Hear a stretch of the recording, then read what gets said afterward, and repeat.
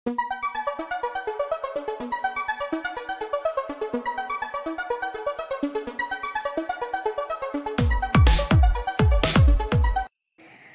my angels, welcome back to my channel and thank you so much for watching me again. So आज मैंने ये soft glam makeup look create किया है Valentine's day के लिए। Of course Valentine's day बहुत नज़दीक आ चुकी है सो so इस वजह से मैंने ये वाला मेकअप लुक क्रिएट किया है। जिसे आप डे टाइम में भी ऑल्सो नाइट टाइम में भी क्रिएट करके जा सकते हो।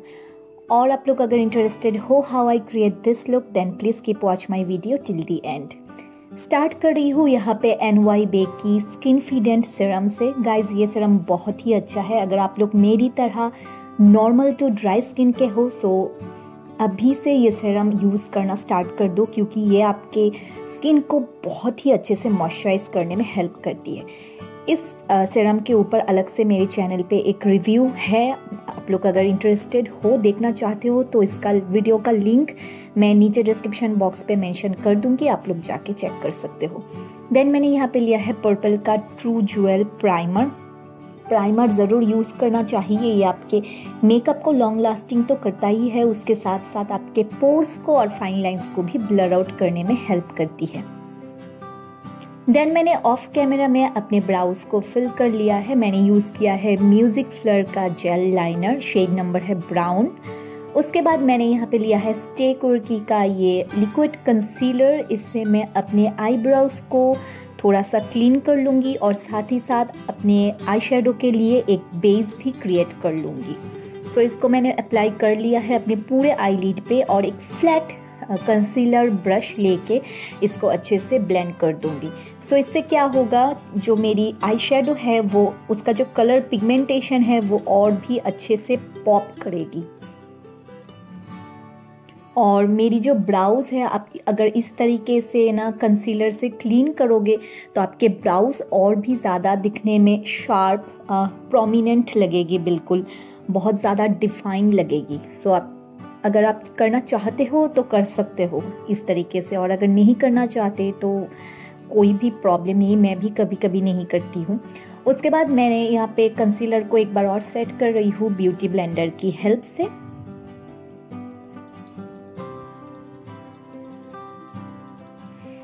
देन मैंने यहाँ पे लिया है हिलेरी रोडा का ये आई शेडो पैलेट इसमें से जो लाइट ऑरेंज कलर शेड मैंने दिखाई है, उसको लेके एज ए ट्रांजिशन शेड मैं अपने आई लिट पे कलर को अप्लाई कर रही हूँ।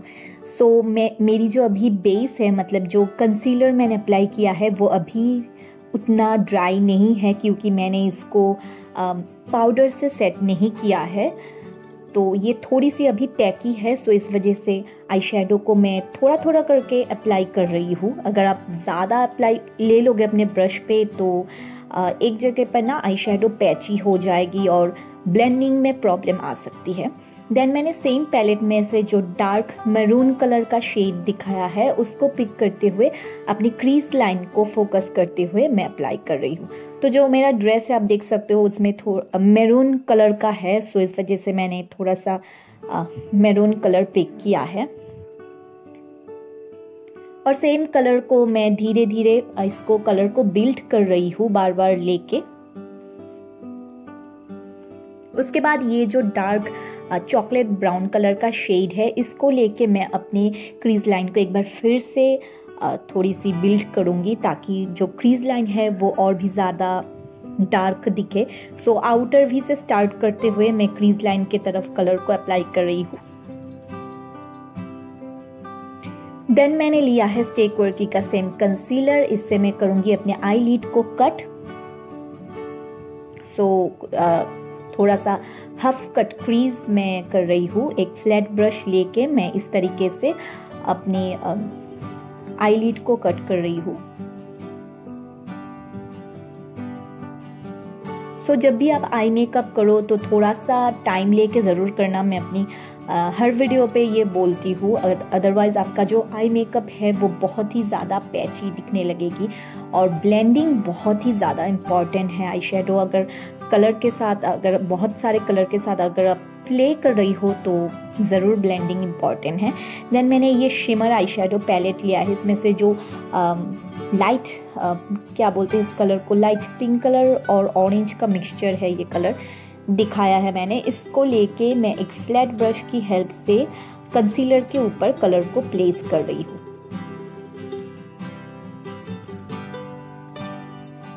देन मैंने जो क्रीज लाइन पे पहली वाली मेरून शेड अप्लाई किया था, इसको लेके सिर्फ़ मैं अपने आउटर वी पे कलर को प्लेस कर रही हूँ ताकि एक ब्लेंडेड लुक आए। देन मैंने जो डार्क चॉकलेट कलर का शेड पिक किया था, उसको लेके एक बार फिर से ब्लेंड कर रही हूँ।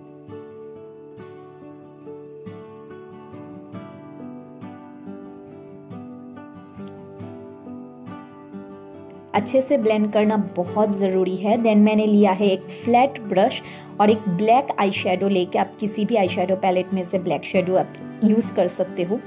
लेके अपने लैश लाइन के करीब करीब मैं कलर को अप्लाई कर रही हूँ और साथ ही साथ मैं स्मज भी करती जाऊँगी ताकि एक प्रोमिनेंट लाइनर की तरह ना लगे। थोड़ा सा यू नो स्मजी सा इफ़ेक्ट आए इस वजह से। ओके okay, हम मेरी आई मेकअप कंप्लीट हो चुकी है। उसके बाद मैंने यहाँ पे लिया है लैकमे नाइन टू फाइव का ये फाउंडेशन जो शेड नंबर सब कुछ वगैरह है वो नीचे मैं डिस्क्रिप्शन बॉक्स पे मेंशन कर दूँगी। आप लोग जाके चेक कर सकते हो।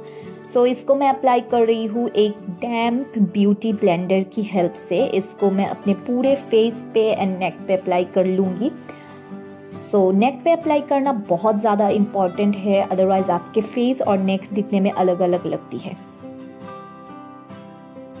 फाउंडेशन अच्छे से ब्लेंड हो जाने के बाद मैंने लिया है स्टेक वर्की का ये कंसीलर सो so गाइज़ ये कंसीलर मैंने अपनी पिछली वीडियो पे जहाँ पे मैंने पर्पल हॉल वीडियो की थी वहाँ पे मैंने आप लोगों के साथ शेयर किया था। सो so, ये कंसीलर मैं आज फ़र्स्ट टाइम यूज़ कर रही हूँ। तो ये कंसीलर अगर मैं कहूँ आप लोग पूछोगे कि किस तरीके से वर्क करता है सो so गाइज़ ये बहुत इजीली ब्लेंड हो जाती है। इसका टेक्सचर बहुत ही ज़्यादा क्रीमी है और कवरेज अगर इसकी पूछो तो ये लाइट टू मीडियम कवरेज मुझे लगी। और यू you नो know, मेरे अंडर आई पे ये बहुत अच्छे से सेट हो गई थी। बिल्कुल भी क्रीज नहीं हो रही थी तो इस कंसीलर की ये बात मुझे बहुत ही ज़्यादा अच्छी लगी। उसके बाद मैं कंसीलर को और अपने फाउंडेशन को सेट कर लूँगी। यहाँ पे मैंने लिया है लैक्मी का ये लूज पाउडर अगेन मैं शेड नंबर नीचे डिस्क्रिप्शन बॉक्स पे मेंशन कर दूँगी। सो इससे मैं पहले, सबसे पहले अपने अंडर आई को सेट कर रही हूँ, क्योंकि यू नो अंडर आई में बहुत जल्दी क्रीज आ जाती है तो वो क्रीज ना आए इस वजह से अच्छे से मैं अंडर आई को सेट कर लेती हूँ सबसे पहले। एंड देन जहाँ जहाँ मैंने कंसीलर अप्लाई किया है like bridge of my nose forehead मेरी जो स्माइल लाइन एरिया है चिन क्यूपिड्स वो सब जगह पे मैं पाउडर को अप्लाई कर रही हूँ।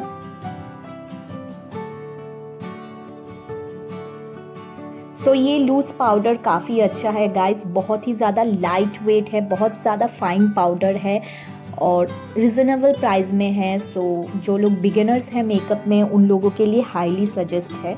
आप लोग अगर बिगिनर हो नए नए मेकअप सीख रहे हो तो ये पाउडर बहुत ही अच्छा है। सो थर्टी सेकेंड्स के लिए मैंने इसको अपने फेस पे बेक करने के लिए रखा था। अब मैं पाउडर को एक फ्लपी पाउडर ब्रश से पूरा डस्ट आउट मैंने कर लिया है। एंड मैंने लिया है यहाँ पे मेबलिन का ये थ्री इन वन पैलेट इसमें से जो ब्रॉन्ज़र कलर है, उसको लेके मैं कर रही हूँ अपने फेस को थोड़ी सी ब्रॉन्जिंग इससे अभी जो मेरा फेस बिल्कुल पेल सा दिख रहा है, वो नहीं दिखेगा। एक डेफिनेशन थोड़ी सी सनकिस्ट लुक आ जाएगी मेरे फेस पे. ऑल्सो मेरा जो फेस है, वो थोड़ी सी चिजल्ड दिखेगी.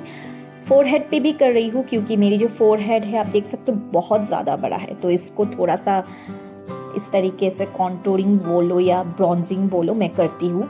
देन सेम पैलेट में से ये ब्लशर शेड लेके मैं अपने एप्पल्स ऑफ़ माई चिक्स पे अप्लाई कर रही हूँ। ये ब्लश मुझे बहुत ही ज़्यादा पसंद है क्योंकि इसके अंदर थोड़ी सी शिमर ब्लश है ये एक्चुअली सो so, इसके वजह से ये हाइलाइटर कभी काम कर जाता है, आप देख सकते हो। इसको अप्लाई करने के बाद मेरे चिक्स कितनी ग्लो कर रहे हैं। देन सेम ब्रॉन्जिंग शेड को पिक करते हुए मैं कर रही हूँ अपने नोज़ को कॉन्टोरिंग हमेशा करती हूँ अपने सारी वीडियो पे करती हूँ क्योंकि आ, मुझे मेरी नोज़ को कॉन्ट्रोल करना बहुत पसंद है। इससे बहुत ही ज़्यादा शार्प डिफाइन दिखती है। और यहाँ पे मैं अपने डबल चिन को हाइट करने के लिए यहाँ पे थोड़ी सी अपने जॉ लाइन पे भी अप्लाई कर रही हूँ। सेम ब्रॉन्जिंग शेड को ही। लोअर आई मेकअप के तरफ़ चलते हैं। यहाँ पे मैंने सेम जो क्रीज लाइन पे पहली वाली मेरून कलर अप्लाई की थी ना, उस कलर को अप्लाई कर रही हूँ और एक फ्लपी ब्लेंडिंग ब्रश लेके अच्छे से कलर को ब्लेंड कर रही हूँ। अपने पूरे मेकअप को सेट करने के लिए यहाँ पे मैं अप्लाई कर रही हूँ ब्लू हेवन का ये सेटिंग स्प्रे ये मेरे मेकअप को बहुत अच्छे से सेट कर देगी और आपके मेकअप को एक डुई सा फिनिश भी देती है। देन हाइलाइटिंग के लिए मैंने यहाँ पर लिया है वेट एंड वाइल्ड का हाइलाइटर शेड नंबर है इसका ब्लॉसम ग्लो सो ये थोड़ी सी पिंकिश काइंड ऑफ़ हाइलाइटर है। तो इसको मैं अप्लाई कर रही हूँ अपने फेस के हाईएस्ट पॉइंट पे। लाइक जहाँ जहाँ मैं हमेशा करती हूँ चिक bones nose forehead क्यूपिट्स bow chin हर जगह पे कर लूँगी। बहुत ही सटल सा हाइलाइटर है। आ, मुझे बहुत ही ज़्यादा पसंद है इसके अंदर बिल्कुल भी चंकी ग्लिटर पार्टिकल्स नहीं है। बहुत ही माइल्ड है। सो सेम हाइलाइटर से मैं कर रही हूँ अपने ब्राउ बोन को और अपने आईज के इनर कॉर्नर्स को भी हाईलाइट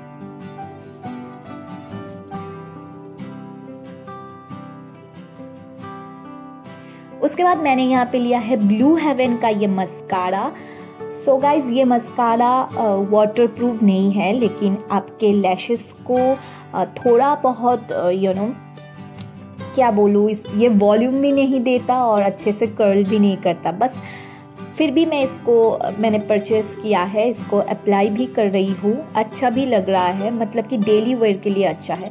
सो so, अपने अपर लैशेस को और अपने लोअर लैशेस को इससे कोट कर लिया है। देन यहाँ पे मैंने लिया है पर्पल का ये matte lipstick and here is my final look guys कैसी लगी मेरी आज की मेकअप लुक मुझे ज़रूर कमेंट करके बताइएगा। वीडियो पसंद आई तो वीडियो पर लाइक कर देना कमेंट कर देना मेरे चैनल पर अगर आप नए हो तो मेक श्योर sure मेरे चैनल को सब्सक्राइब कर देना। तो चलिए आप लोगों से मैं मिलती हूँ मेरी नेक्स्ट वीडियो में। तब तक के लिए बाय